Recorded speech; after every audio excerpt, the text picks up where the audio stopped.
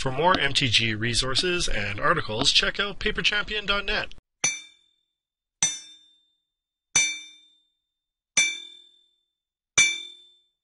This is Tao Chow with MTG Forge, and today we're going to be talking about 8 Rack. Now, 8 Rack revolves around the card The Rack. So let's take a look there. As the rack enters the battlefield, choose an opponent. So obviously you choose your one opponent. At the beginning of the chosen player's upkeep, the rack deals X damage to that player, where X is 3 minus the number of cards in his or her hand. So what we want to do is put the rack down and then have our opponent be empty-handed so that they will get 3 damage, uh, or at least have less than 3 cards, so they'll start taking damage every turn from the rack. Now, the reason why it's called 8 rack is because we also run Shrieking Affliction, which is basically another version of the rack. Um, Shrieking Affliction is at the beginning of each opponent's upkeep. If that player has one or fewer cards in hand, he or she loses three life. So it's not exactly the same as the rack, and there's actually a key difference. Uh, one of the key differences is that Shrieking Affliction is an enchantment, and the rack is an artifact. So if they have artifact removal, you have Shrieking Affliction that you can still use, and if they have enchantment removal, then you have the rack. Now, some decks have both of those types of removal, uh, in which case you're, you know, kind of stuck, but the fact that you have eight of them is actually pretty good.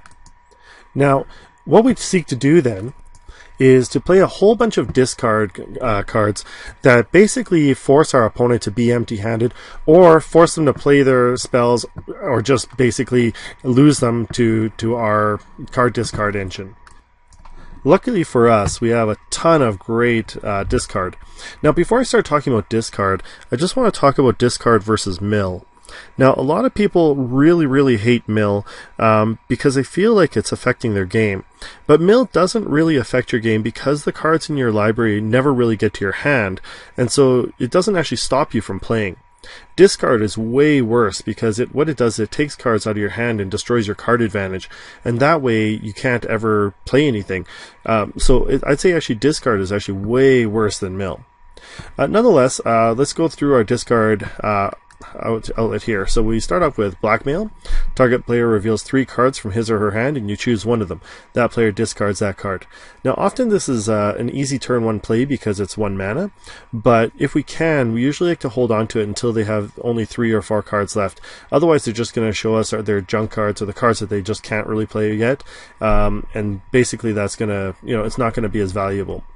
Earlier on, we want to play duress or inquisition of Kozilek. So target opponent reveals his or her hand. You choose a non-creature, non-land card from it. That player discards the card. Inquisition of Kozilek is very similar. Uh, basically, you choose a non-land card with converted mana, mana cost three or less. All right, so those are our turn one plays. Uh, also, Raven's Crime. So target player discards a card. Now the cool thing about Raven's Crime is that you can use retrace on it. So what that means is that you can basically keep casting it from your graveyard as long as you uh, discard a land from your hand. Now, typically, we want to have only about three or four lands in play, and that gives us a ton of other lands that we can keep discarding. All right, So, after that, we have Smallpox. So, Smallpox is part of our protection package in addition to the discard outlet. So each player loses one life, discards a card, sacrifices a creature, then sacrifices a land. Now, one of the key things is that if you're going to play a creature and smallpox in the same turn, make sure you play smallpox first. Right, because otherwise you're going to have to sacrifice your creature as soon as you put it out. I made this mistake in one of my matches, as you'll see, but uh, it worked out in my favor nonetheless. Uh, I managed to get around it, but it was just kind of a stupid play. Uh, so, anyways, but what you can, what this can do is it can destroy Bogles, for instance, if your players, uh, if your opponent is playing Bogles, uh, because you're not targeting the creature, they have to sacrifice it. So, it's a good way to get rid of a Bogle, but also a good way to get rid of a threat or a singular threat, anyways. Um, let's see, we also have Wrench Mind. So target player discards two cards, unless he or she discards an artifact. Now, most cards don't run a ton of artifacts. Um, uh, most decks don't run a ton of artifacts, but some do. Uh, in which case, this this card might not be that good, but nonetheless, um, it's actually a pretty good card most of the time. Uh, Stupor. So target opponent discards a card at random, then discards a card. Now, you'd think that this would sound a lot like um, Wrench Mind because it causes the person to discard two cards. But the discard at random is actually really devastating uh, because basically you can't control which one is coming out of your hand in that case. And, you know, if they have a combo piece, they could choose to discard other things that aren't those combo pieces. But uh, sometimes, and it seems like always the worst time, Stupor will get rid of the card that you really need. So, anyways, discarding at random is something people really, really don't like. Okay, now after that we have some protection. Okay, so we have Ensnaring Bridge. Um, basically, creatures with power greater than the number of cards in your hand can't attack. We're rarely ever going to have a ton of cards in our hand because our mana cost is so low. So Ensnaring Bridge is really going to help to protect us. Let's see, we have Victim of Night, so destroy target non-vampire, non-werewolf, non-zombie creature. This works for almost every deck. It's only two mana to get rid of basically anything. If you were really worried about it though, like fighting a lot of vampires or zombies or whatever, uh, then you could replace it with Murder or Hero's Downfall or anything like that to get rid of uh, get rid of. Those are a little more expensive, but I mean in terms of mana cost, but they'll do the job uh, just as well right? Uh, we have Augur of Skulls. Now, Augur of Skulls is kind of a 1-1 beater, but he can be, uh, he's not really a beater, just a 1-1 chump blocker, but you can also sacrifice him on your upkeep. So remember though, if you're playing online, you have to set a stop on your upkeep to do this.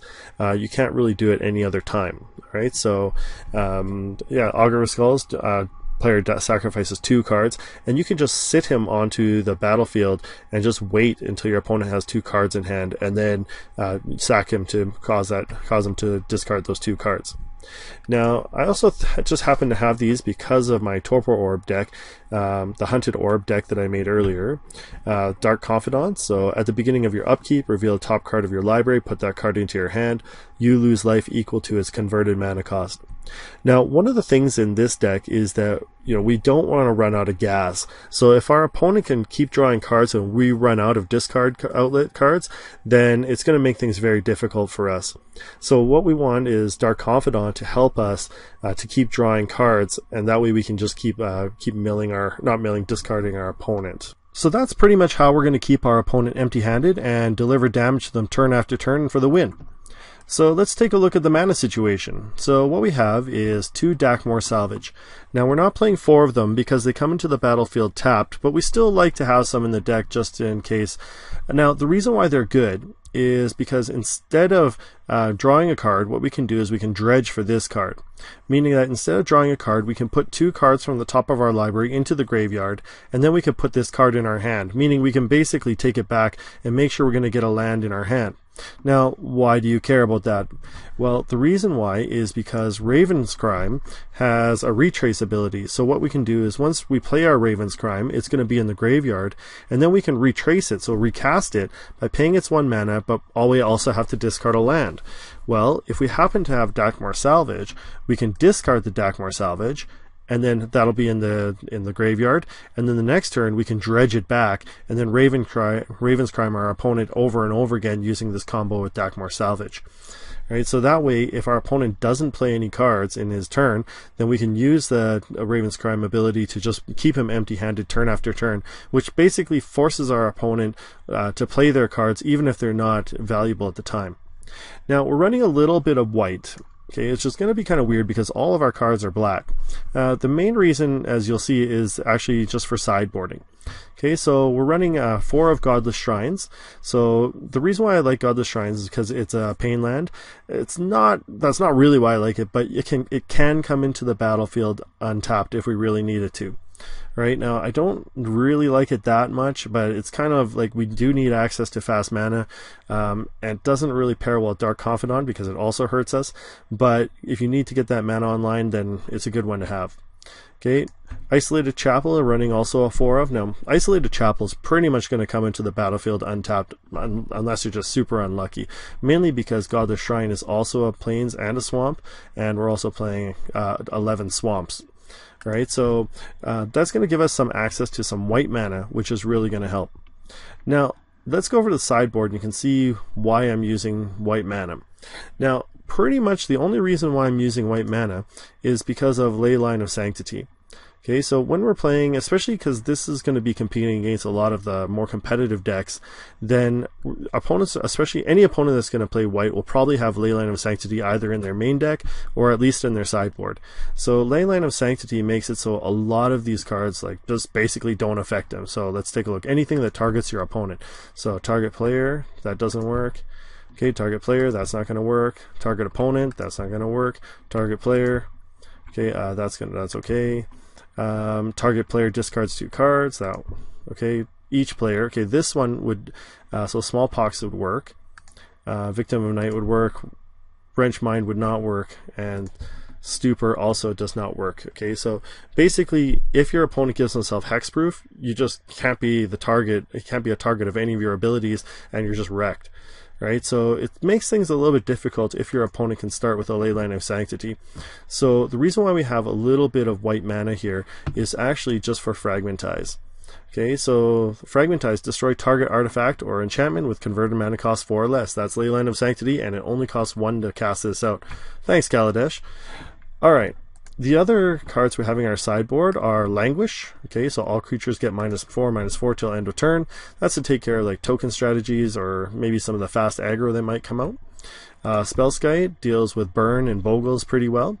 Um, Pithing Needle to turn off planeswalkers and other effects, maybe even Lantern of Control, right? And um, Nihil Spellbomb is basically to take care of things like dredge or anything like, like snapcasters and whatever that are returning things and bringing stuff back from the graveyard. Okay. Now, it's important to talk about some upgrades here, or ways that we could vary this deck. Now, one thing you can do is use Funeral Charm. So, Funeral Charm is a nice uh, addition here. I'll see if actually I have one. Okay, so I guess I do have one here. Let's see, take a look at it here. So target player discards a card, so it's again one mana discard. Target creature gets plus two minus one till end of turn, or target creature gains Swamp Walk. We're pretty much never going to do that. Um, mainly because we don't really have any creatures except for Augur of Skulls and Dark Confidant, but we're never really attacking with those. So you can either give a target creature plus 2 minus 1, which can get rid of a pesky creature, or we can choose uh, get our opponent to discard a card. So that's one option. Another one, which I'm pretty sure we I don't have, is Necrogen Mists. Okay, so Necrogen Mist is basically an enchantment that sits on the battlefield and says at the beginning of each uh, player's upkeep, they have to discard a card. So what that means for you is that if you don't play your card on your after you draw it, you're going to have to discard it on your upkeep. So the reason why that's uh, pretty deadly, and it actually uh, affects us as well, is it's pretty deadly for our opponent though because uh, basically they cannot hold any cards in their hand right? So it's just an ongoing discard outlet for them. Now, it's not really that bad for us because the converted mana cost of our cards is so low that we can pretty much cast anything we want and you know, if all of our stuff is pretty relevant, and if it's not at the time, uh, then we probably don't need it. So it's not really going to hurt us that much. Now, the last card I wanted to add was, and I know I don't have this one, is Liliana of the Veil.